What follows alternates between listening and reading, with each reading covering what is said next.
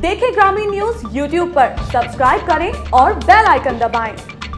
नमस्कार दोस्तों, मैं हूँ पारुल यादव और आप देख रहे हैं ग्रामीण न्यूज़ में खेती बाड़ी और किसानों से जुड़ी आज की बड़ी खबरें। किसानों को खेती की उन्नत तकनीकों की जानकारी देने के लिए सीएसआईआर केंद्रीय औषधीय एवं सगंध पौधा संस्थान 31 जनवरी को लखनऊ में किसान मेले का आयोजन करेगा। ये मेला संस्थान के परिसर में लगेगा। मेले के कोऑर्डिनेटर डॉक्टर कुमार के मुताबिक मेले में देश भर के किसान वैज्ञानिकों की टीम के साथ मिलकर उन्नत खेती प्रोसेसिंग और मार्केटिंग की तकनीक सीखेंगे। मध्य प्रदेश में देवास ज़िले के देहरिया साहू गाँव में एक किसान ने जहर खाकर आत्महत्या कर ली। मृतक की पहचान 35 साल के किसान राजेश उर्फ़ पप्पू पाटीदार के रूप में हुई है। बताया जा रहा है कि किसान कर्ज तले दबा हुआ था और उसने प्याज की फ़सल बोई थी, लेकिन दाम गिरने के कारण लागत भी नहीं निकाल पा रही थी, जिसके कारण वो कई दिनों से परेशान चल रहा था और उसने जहर खाकर आत्महत्या कर ली।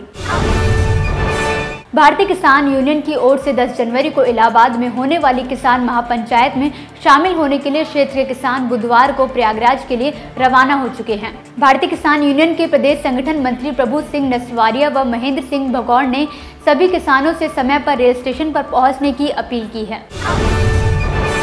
कर्ज माफ़ी के बाद छत्तीसगढ़ सरकार किसानों को जल्द ही एक और तोहफा दे सकती है।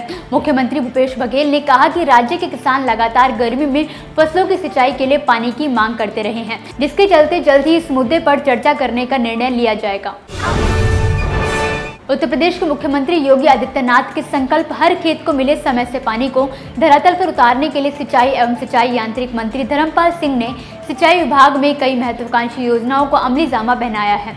इसी क्रम में किसानों की समस्याओं को तुरंत हल करने के लिए निःशुल्क हेल्पलाइन को भी जारी कर दिया गया है। सिंचाई संबंधी समस्याओं के समुचित निराकरण के लिए सिंचाई एवं जल संसाधन विभाग में टोल फ्री हेल्पलाइन नंबर एक आठ शून्य शून्य एक आठ शून्य पाँच चार पाँच शून्य स्थापित किया गया है। किसान बुलेटिन की आज की बड़ी खबरों में बस इतना ही। अल्लाह और शोरगुल वाली खबरों से दूर रहने के लिए आप देखते रहिए ग्रामीण न्यूज़ नमस्कार। देखिए ग्रामीण न्यूज़ यूट्यूब पर भी। बस सब्सक्राइब करें और बेल आइकन दबाएँ।